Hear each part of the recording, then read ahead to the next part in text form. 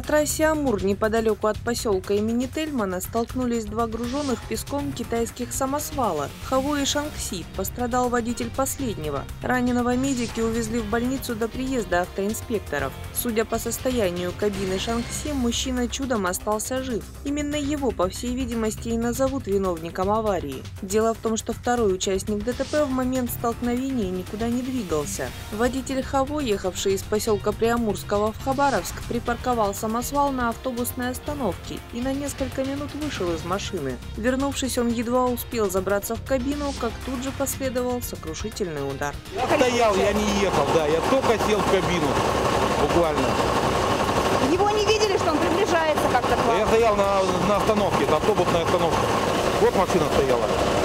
Вот и удар здесь был. Получается, он, он руль вправо выкрутил, да, зачем-то?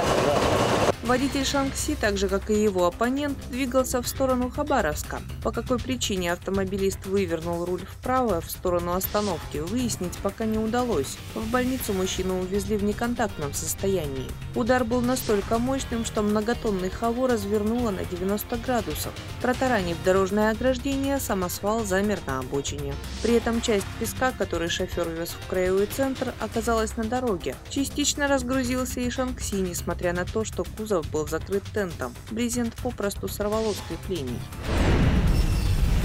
А на улице Тихоокеанской, неподалеку от остановки 38-я школа, столкнулись Honda CR-V и Subaru Forester. Несмотря на минимальные повреждения машин, автомобилисты все же решили дождаться автоинспекторов. Своей вины в ДТП не признавал ни один, ни второй. Оба водителя двигались в одном направлении, в сторону топографического техникума. Шофер Хонды медленно двигался в общем потоке, тогда как его оппонент решил сэкономить время и объехать затор по встречной полосе. Столкновение произошло, когда водитель Subaru попытался перестроиться обратно в свой ряд, чтобы пропустить встречный автомобиль. Я пытался найти в ряд. Я включил поворотник, пытаюсь ну, заехать, заехать в ряд.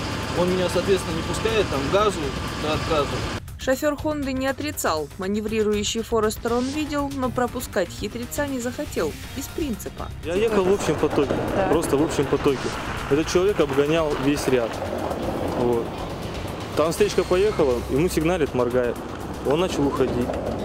Ну, как бы в наглую немножко, может быть, не знаю. Но я притормозил, а все равно столкновение произошло. На оформлении ДТП также настоял владелец Сирви в ответ на нападки со стороны оппонента. Он сказал мне, что я виноват, вот, что он обгонял, а я ему не дал. Я виноват. Ну, Я ему должен возместить ущерб, тогда мы разойдемся. Ну, ради бога, сейчас инспектора разберутся, кто виноват, кто прав. Инспекторы сочли виновником аварии водителя Субару, выписав лихачу штраф 500 рублей за нарушение правил расположения транспортного средства на проезжей части.